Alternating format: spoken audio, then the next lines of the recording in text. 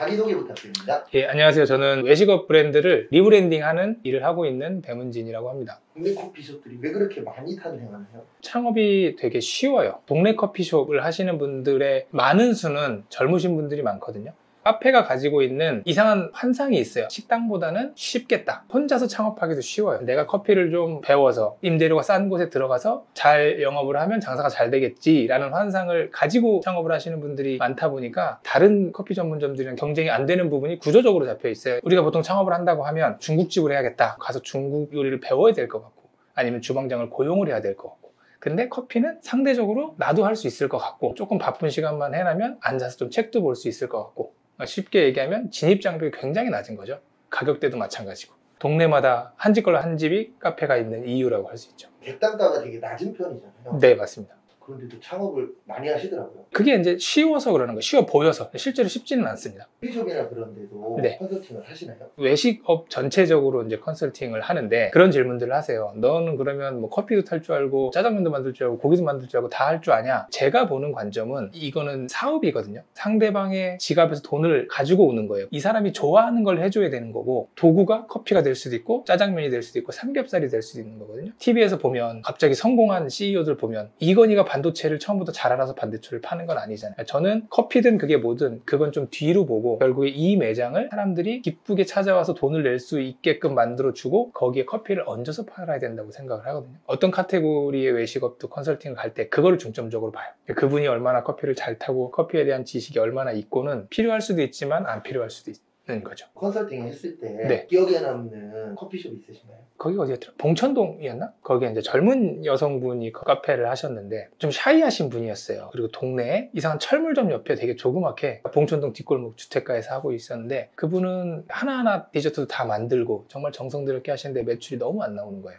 몸도 막 안 좋아주시고. 그래서 그분이랑 가서 이제 이런저런 말씀을 드리고 현실적인 얘기들을 좀 해드렸어요. 주택가 뒷골목에서 내가 유명한 파티쉐도 아닌데 디저트를 만드는 게 과연 의미가 있을까? 차라리 디저트랑 이런 것들을 사서 쓰고 그 시간에 고객 응대를 조금 더 잘하고 거기가 출근길이라서 사람들이 아침에 엄청나게 많거든요. 사장님은 오후에 나와서 주택가에 사람 없는 데서 점심에 영업하고 저녁에 일찍 문을 닫으니까 손님이 올 수가 없는 거예요. 아침에 조그만 shot처럼 때려 넣을 수 있는 커피 한 잔. 왜냐면 지하철역까지 거리 안에 마시고 버릴 수 있는 사이즈의 커피랑 디저트를 세트로 팔아라 라는 말씀을 드렸고 그분이 이제 되게 공감을 하셔서 실행을 하셨는데 그 이후로는 뭐 제가 찾아가 보지는 않았지만 뭐 유튜브 영상에도 따로 올라왔더라고요. 괜찮다고 말씀하시는 것 같았어요. 영상 만드신 거에 보면 네. 커피숍들이 이제 망할 것이다. 동네 커피숍들이. 그렇죠. 왜 그렇다라고? 커피 전문점이라는 거는 제가 봤을 때는 한 카테고리에 불과하고 어쨌든 커피 전문점도 비즈니스거든요. 사업이에요. 사람한테 내가 가지고 있는 물건이나 서비스를 팔아야 되는데 잘 되는 커피숍들을 보면 본인들이 뭘 팔지가 명확하게 되어 있어요. 메가커피나 이디야나 컴포즈나 이런 데들을 보면 유동인구가 굉장히 많은 데서 조금 저렴하게 그 깔끔한 느낌으로 테이크아웃도 많이 하고 이제 저가 커피용으로 세팅이 되어 있는데 동네에서 커피 전문점을 하시는 분들은 자기가 누구한테 커피를 어떤 가격에 어떤 가치 를 줘서 팔아야겠다라는 개념이 안 잡혀 있는 거예요. 그냥 이디야에서 3,000원에 파니까 우리는 2,500원에 팔면 오겠지라는 좀 단순한 mind로 접근을 하시는데 우리가 이제 카페를 갈 때도 보면 커피를 구매하는 게 커피의 가격 때문만에 가는 건 아니잖아요. 동네 카페는 특히나 그런 concept이 모호하고 여러 가지로 되게 애매해요. 테이크아웃 하기도 애매하고 공부를 하러 가기도 애매해요. 왜냐면 장소가 협소하고 사장님이 계속 보고 있으니까 눈치 보일 것 같고 인테리어가 엄청 좋은 것도 아니에요. 그렇다고 커피가 엄청나게 맛있는 것도 아니야. 그러니까 포지션이 약간 애매한 거예요.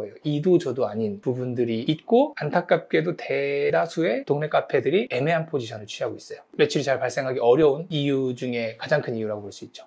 문 많이 닫잖아요. 네. 문 많이 닫는 이유가 있을까요? 제가 말씀드린 이제 동네 카페의 경우에는 창업 비용이 별로 없으세요. 창업하시는 분들이 내가 가진 예산은 한정적인데 나는 커피도 잘 타고 디저트도 잘 만들고 응대도 잘하니까 조금 처지는 데 가서 오픈을 해야겠다라고 해서 대부분 주택가나 사람 다니기도 되게 애매한 곳에다가 작은 평수로 하신단 말이에요. 본인들이 좋아하는 뭐 이상한 figure 같은 거 올려놓고 뭐 알 수 없는 인테리어를 하세요. 카페를 가시는 분들은 테이크아웃을 하거나 아니면 정말 roasting을 정말 잘하거나 아니면 평수가 너무 넓고 쾌적해서 공부를 하러 가거나 인테리어가 너무 훌륭하고 view가 좋아서 소풍 삼아 가거나 이제 이런데 하다못해 커피가 정말 먹고 싶으면 배민으로 이디야도 배달해 먹을 수 있는데 굳이 동네에 있는 작은 카페에 가서 커피를 사지 않는다는 거죠. 그냥 커피만 팔았지 사람들이 갈 만한 이유가 아예 없는 거죠. 그 카페에서 불과 50m만 가도 분명히 커피 전문점이 있을 거고 거기가 훨씬 쾌적할 거고 사장님이 나를 쳐다보지도 않을 거고 공부하기도 편하고 테이크아웃 하기도 편한데 굳이 거기 갈 이유가 없는 거죠. 그런 데들은 장사가 잘 안 되면 카페 사장님들이 그 안에 앉아 계시잖아요. 딱 들어가면 막 부담스러울 정도로 어 어서 오세요 딱 이러면 이게 아 여기 내가 나가면 안 될 것 같고 약간 이런 느낌이 좀 있거든요. 공부를 나는 3시간 하려고 왔는데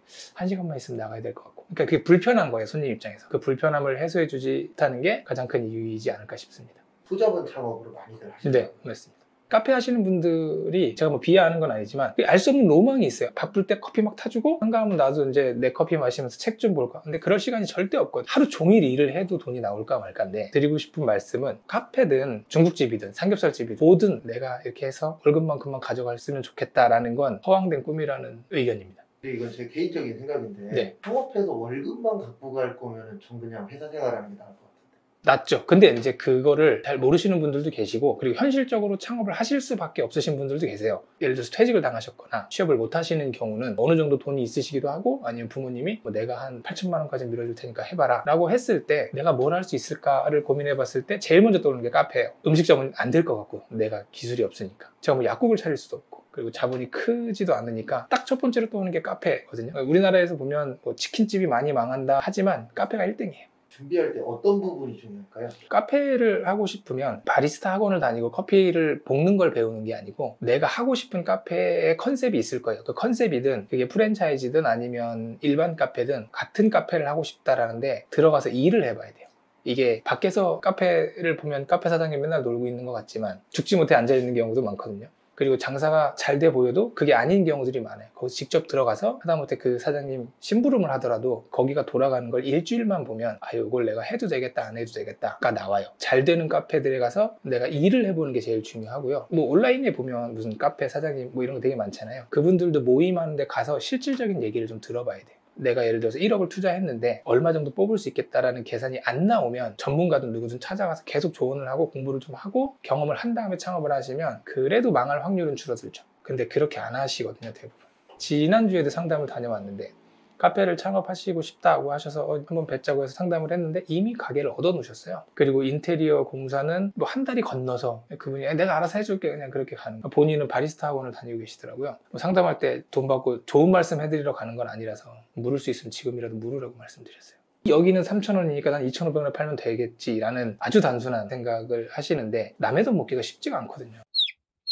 터지는 싸움에서 이기려면 어떻게 준비를 해야 될까요? 예를 들어서 카페라고 생각을 하면 자꾸 이거를 잘 되는 데를 따라가려고 하면 이게 오히려 저는 역행이라고 생각을 해요. 왜냐면 지금 뭐 양극화, N극화 이런 얘기가 굉장히 많이 나오잖아요. 결국엔 남들이랑 다르게 움직인다라는 거거든요. 매장이 딴 집에서 뭐 인테리어를 이렇게 하니까 나도 이렇게 하고 예전에는 잘 되는 집을 카피를 하면 어느 정도 매출이 보장이 됐었어요. 지금은 아니라는 거예요. 이 사람이 잘 되는 이유는 그 사람만의 색깔을 갖고 있어서이기 때문에 잘하고 못하고를 떠나서 quality가 높아진다라기보단 다른 색깔을 내야 되는 거예요.